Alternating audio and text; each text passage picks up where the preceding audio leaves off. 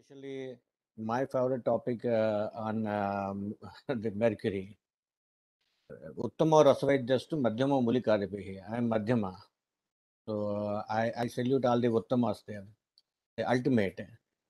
Fortunately, unfortunately, today we are debating about uh, the, the latest and the best uh, uh, uh, contribution to the science of Ayurveda, that is Rashastra. Yeah, these kind of challenges have uh, come several times and perished, and uh, the same should happen in this context also. But the matter is a little serious, but it can be addressed. Uh, in 2013, uh, along with uh, Dr. Katoch, uh, we made a, a detailed, what do you call, in-depth survey into what actually prompted uh, UNDP to look at it.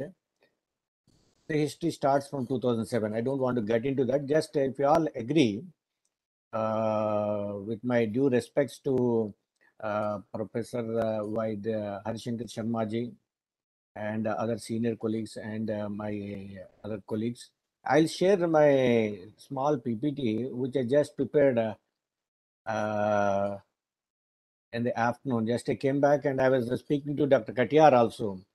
He he's, he must be traveling now from uh, Visakhapatnam to Delhi. But we had a, a, a detailed discussion in the morning on the same subject. Just I will share. Uh, hope my screen is visible now.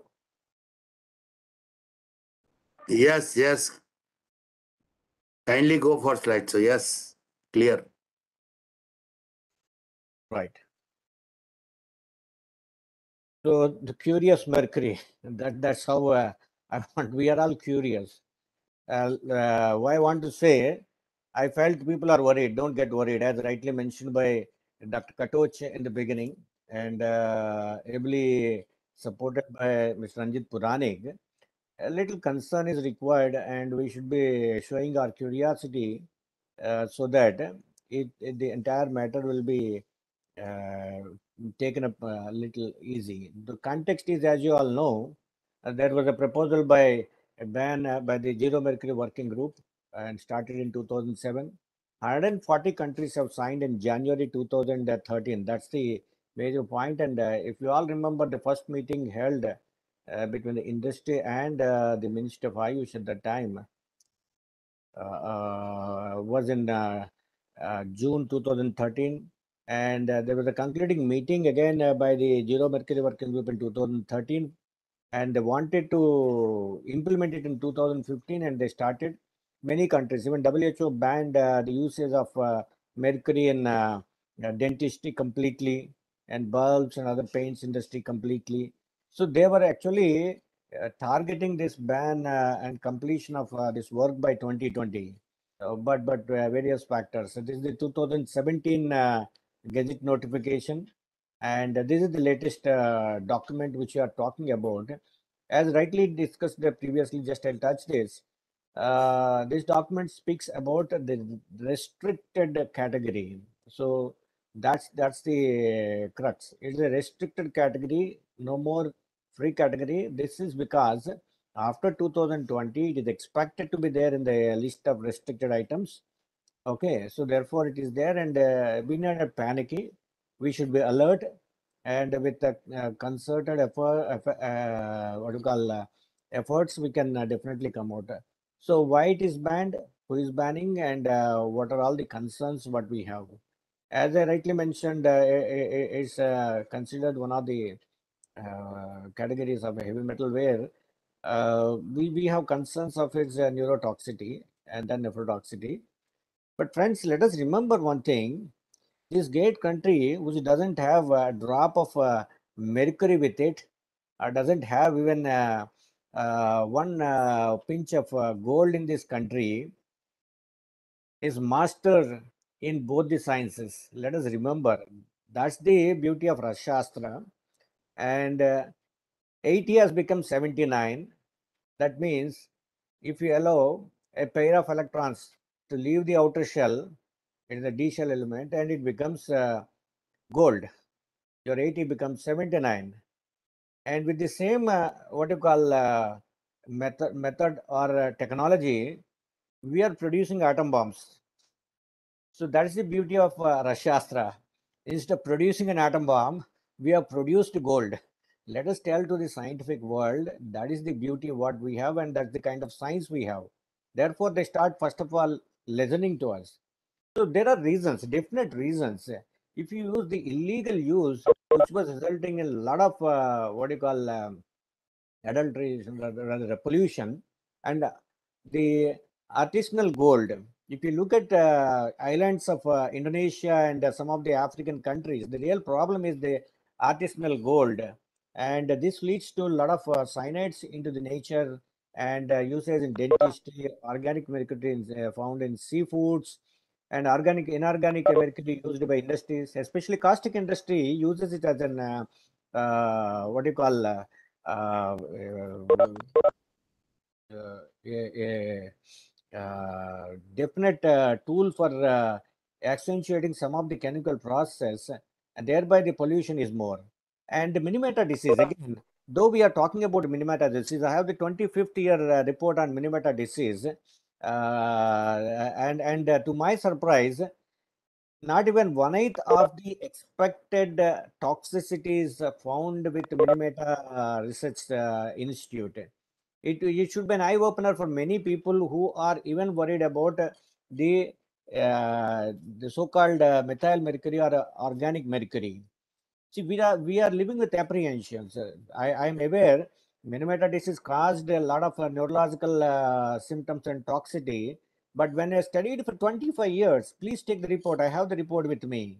So these are the kind of uh, scientific documents which will make us to feel confident and it gives confidence to the counterparts who are worried about the toxicity. It is mostly the methyl mercury. This is something which we want to tell them. We are not using organic mercury. That is, we are not using methyl mercury. We are using the inorganic mercury and that too mostly associated with sulfur which is a stable uh, compound and and uh, it doesn't uh, give rise to any kind of side effects so these are the five countries india is not among the five call uh, countries which are uh, producing mercury india is not among the top five countries which are uh, importing mercury so so we have to tell the uh, the ministry of environment and forest that it should be the last and least to worry about india and uh, again, I have given uh, the usage statistics of many countries. China leads this. The real problem, what we are going to face, the moment uh, this trafficking or the even a regular supply is uh, uh, going to be restricted, the availability will come down. And that's the reason where the supply and demand, where Mr. Ranjit Puranik was mentioning, the prices are going to go up. According to uh, a, a serious estimate, not just estimate, a serious estimate, somewhere between 60 to 70 metric tons are sufficient for the entire Indian traditional use. Nothing more, nothing less. And I'll come to that. So these are the lot of uh, statistics which are available. Uh, on this slide, if you see, about 1300 odd total mercury uh, tons are used, both inorganic, organic, whereas the inorganic compound is less than 500 uh, metric tons or around 500 metric tons. In that also it is noticed about 399 tons are not being traced properly. So that's the concern. So if you apply this particular restricted category the aim of the government of india is to track so let us not get worried and uh, just track it. Therefore, there is no serious threat to us, but there will be a control on uh, the total uh, usage of mercury. Then who is banning it as we discussed? It is an NGO which started it and in Delhi also you have uh, a South Asian uh, center and then uh, UNDP is uh, seriously working and uh, already 140 countries have signed and these are known. And these are some of the NGOs who are uh, still working. And this is what uh, I was mentioning uh, in January it was uh, first of all agreed by 140 countries. India is also signatory to this.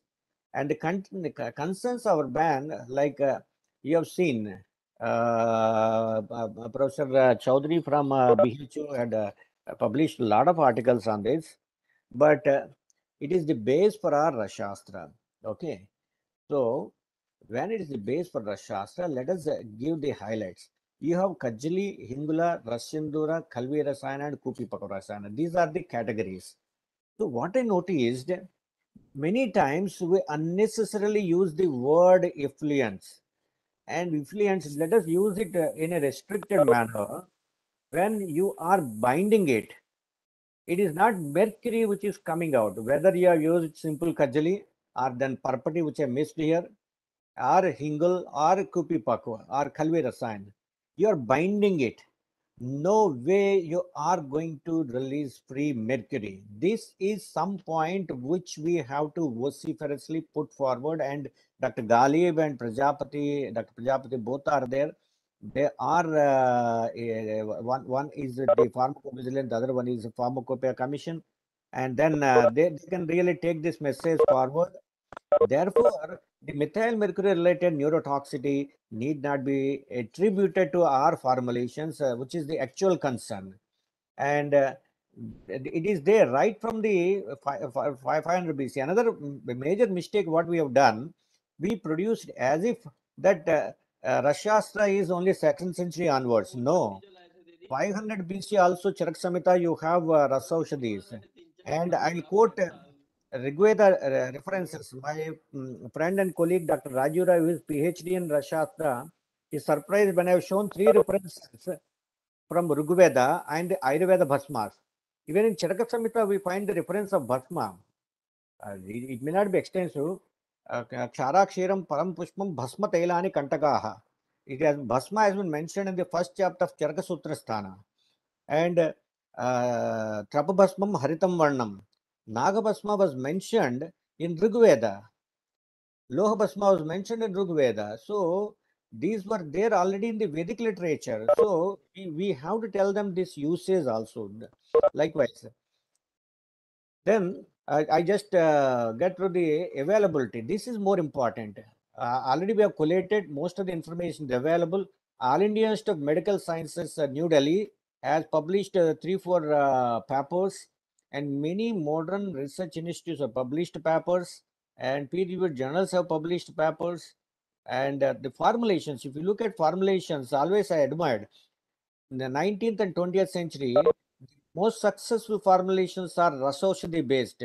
Whether you take uh, uh, your uh, uh, Jerry Fort, you take uh, uh, the other, just I'm quoting, don't mistake me, you take the name of your Abana, you take uh, Liv 52 kind of formulations which are being extensively prescribed by modern physicians. That's the context which I'm trying to mention here, are all having uh, the mercury, uh, of course, not Liv 52, other things. So if you categorize, these are the top 100 uh, formulations just I collated, which are a threat. So we should have a second action plan. In the event, we have a compulsion of uh, foregoing some quantities of mercury. We should also have an open mind and we have to give the alternative approach. Uh, let us start working in this direction. For example, Yogaratnakara, Vaidya Chintamani have given Rasa Sindhura Ingula as substitutes for Kajali also. Now, when I enumerated, other than your Kupi Pakwa Rasayana, most of the other formulations can be properly handled with this. So therefore, we should see that they will not uh, dwell into the cinnabar related uh, compounds because in India you have a lot of uh, mercury sulfide related ores available in various places. So we can uh, look into that. Bihar and other areas, uh, Jharkhand, there are there are reports uh, that we can uh, look into, and uh, then the usage of the uh, mercury can be brought down. This is something which we can definitely uh, look into. And finally, this is the conclusion what I want. So precisely three four points. The traditional light. I I'm in line with what Dr. Katoch and Mr. Ranjit Puranik were saying. The traditional use of mercury is to be uh, maintained for the uh, industry if required with a separate set of regulations. So this is a, the crux of the story. Everything fits into it. For that, Rashastra, since it is the latest and most efficient, Alpamatrayopayutat, Arichara Prasangata, Kshipram Arogyadayitvat. We, we have to tell them.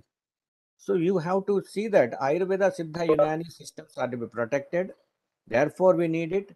And then the volume of uh, Ayush industry, uh, the usage of mercury by Ayush industry is uh, less than 1%, or I will put it between 1 to 2% of the global use. Therefore, you need not be panic. Uh, as a special uh, entity, they should uh, allow this.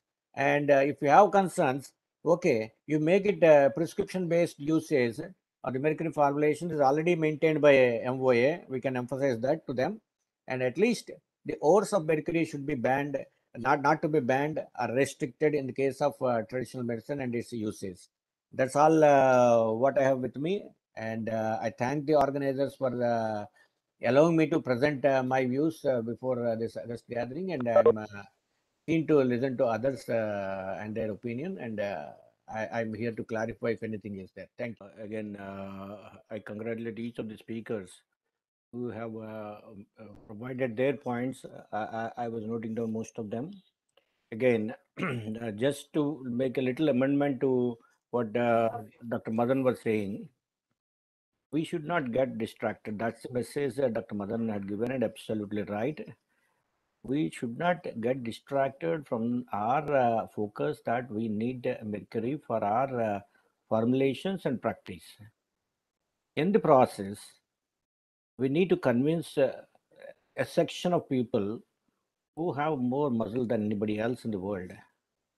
Therefore, I narrated uh, uh, the, the, the two, three important points that uh, there is no threat, like uh, methyl mercury versus the inorganic bound mercury compounds we are using. We, will, we, should, we should tell them we are not using. And second thing, uh, when when availability of the mercury itself is going to be a challenge, my sincere submission to all of you will there are sources where your 99.999% uh, pure mercury is available today. Okay, so let us ensure that the supply should not come down. Uh, as rightly uh, pointed out by Mr. Ranjit Puranik in the beginning, it is the actual uh, need of the hour to address the escalating prices. Uh, we shoot it up like anything, and that is a direct indication that there is a reduction in the supply. Therefore, the acceleration in the price. It, it is uh, inversely proportional and is uh, visible, quite visible. So immediately, a group of people from industry should come together and procure at least four five times the volume that is required on behalf of uh, this thing. This is a sincere suggestion I've given to my company also. And maybe in the large interest of the organization, I'm heading a, one of the uh, industry associations as on date, and uh, Ranjit Puranikji and others are also there. I'm part of their associations also. Let us quickly work on this. Like uh, today, if I look at Dhootapapeshwar, they have done human service uh, for Praval. And today, many of the industry uh, members are benefited by his endeavor uh, a decade, a decade and a back. So maybe such similar effort uh, needs to be taken up immediately because uh, it the, the volumes are procured at least before the negotiations uh, go on because we know many times with government you require a lot of time. We have seen this especially in biodiversity okay? So that, that, that kind of uh, longer incubation periods uh, would require other measures also. And uh, the third one what i was mentioning as a unit let us come together to minimize the volume usage of mercury by looking at the alternative sources. Uh, i have done some work. When uh, we make the document we make a chapter for that. Uh, again i quote Ratnakar and uh, where certain places uh, the replacement of uh, Rasabhasma and Kajali has been provided. So if you do use those uh, ores uh, like Hingul and uh, in those formulations, probably will uh, not use the imports of mercury. That will also give a uh, ease to the government to consider. So all of them as a package okay and then people understand okay these guys have done their homework they know uh, what is exactly the problem let me tell you i have a about 200 slide presentation which has nothing to do with our Ayurveda part. And if I show that, all of you, there will be no exception, if you are a human being, you will vote for banning mercury. That's the kind of disaster that is happening in the name of uh, mercury. Any caustic industry is using this as a, a, a tool, and then that is leading to a lot of pollution. Then uh, bulbs, uh, even uh, amalgams used in dentistry, uh, there were so many, and uh, artisanal uh, mercury. That's the real problem. There's a mafia working across the globe, and that's the reason why actually the ban has been imposed. There is a valid reason. So we cannot ignore the public cause. At the same time, we have to succeed in our own effort also. So creating uh, the balance through our document is very essential. And I know uh, with uh, people like uh, Ranjit ji and others, uh, we, we can definitely make a good document and impress anybody. And the scientific literature. Recently, also we submitted some scientific literature. Dr. Galib is also aware of that. Use data is available today, uh, even on uh, mercurial uh, formulation safety efficacy front, and special toxicity studies are also available. So I don't think, and most importantly, I want to quote one thing. Please go through the 25 years uh, report on Minamata disease. It will be an eye opener for people who consider mercury, methyl mercury as uh, uh, highly toxic. It is not the case. It's not my report. It's 25 years report, and uh, they were decided to what do you call uh, go away with many of the serious restrictions they've imposed. Um, and uh, wonder, wonderful. Uh, uh, I, I have the report. I will I will definitely share it with uh, Pavanji, and you can circulate with other members. So once we get focused and, and single point agenda, sustainable supply of uh, mercury with substantial evidences why we need this over, and uh, I think uh, it will not be a big deal. So with this, I conclude, and I once again thank. Uh, all the organizations, especially the learned uh, members uh, of this uh, entire gathering, for allowing me to express my points and uh, patiently listening to us. And uh, we will definitely get connected again. Thank you, one and all. Thank you. Thank you. You remember reminded me one thing, Dr. Sastry. When I completed my MD in 1989 eh, from Jamnagar under Professor Harishankar Sharma, he was very much enthusiastic about Ras Bhasma. He conducted one seminar in Srisailam, Lohanam Maranam Sreshtham, Sarvesham Ras Bhasmana, to decide what is the Ras Bhasma actually. I don't know. Prajapati ji is there now also after 33 years whether our scientists are having unanimous voice which is the ras bhasma and which should be used for maran of loha i don't know. And second information before calling to our respected dc Katoch ji for concluding remark last information sir please attend these uh, webinars number one and on 2nd november we are conducting unique competition of dhanvantari stuti competition with or without music that will be a competition of unique style i hope overwhelming Yeah. response from the competitors seven yes please yes sastry ji Yeah, yeah, Sastry ji, just. I, I forgot to share one thing to boost up the confidence of uh, the all the members here. Of course, uh, you're all uh, learned people and experienced. My mother is 40, uh, running 45th of her diabetes, and probably she might have developed all the complications of diabetes if she might not have used uh, mercurial compounds last 45 years every day, morning and evening. Okay, every six months we do her uh, LFT, RFT, there is no change. So anybody really wanted to know, 45 years, one Vasanta Kusumakar morning and evening, one Chandra Prabhavati having Kajali base morning, evening, and what else? Likewise, people are there 21 years, about 35 milligrams of Rasindor morning and evening, they are live. And uh, the ca- calcified uh, aortic valve has been managed, and the data is available. And uh, some of the cardiologists are associated with these findings, where Hingul, along with some uh, spices, have been administered. And likewise, my point here is when we look at our clinical experiences, as I mentioned by some of the speakers earlier, this gives real confidence. This, this is a real time, uh, what you call observation. Uh, these, these are not uh, the stories which are there in your 220 Rashastra books. You don't require. You pick up uh, top uh, 20 uh, Rasavaidyas of this country, they will give you experiences beyond life.